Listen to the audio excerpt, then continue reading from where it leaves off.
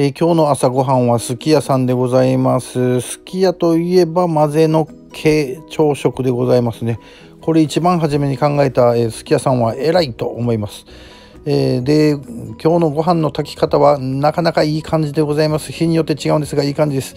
で味噌汁とちょっと今日は多めでございますよ。この肉が嬉しいですね、えー、なんかあのどういう食べ方するかっていうのが毎回、えー、ちょっと楽しみなんでございますが今日はですねすき焼き食いですね。あの半熟卵なので中尾は、えー、生卵なんですが、えー、温泉卵なんですけれどもすき焼き食いができます、えー、でオクラも今日は混ぜずに食べてますね。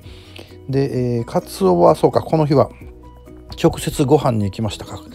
えー、でこのまま醤油もかけずにいただきますと。かつおの風味そのまま、えー、味わえるのでございます。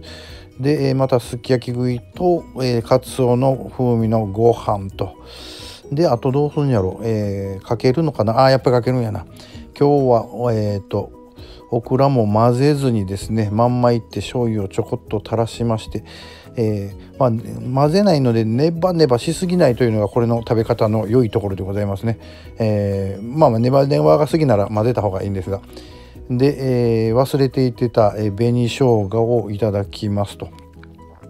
でもなんかこの 本当にねこれ350円でこのクオリティほんまにすごいと思うんですよね。で朝がすごい空いてるんですよね外国人の方がおられなくなったので。えー、もうなんならドトールよりもなんか書き物するのとかも良い感じなのではないかと思っておりますが。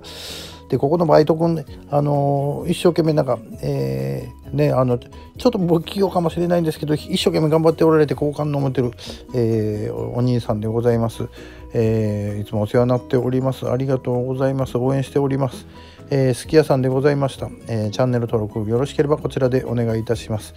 えー、それではまた明日です。ありがとうございます。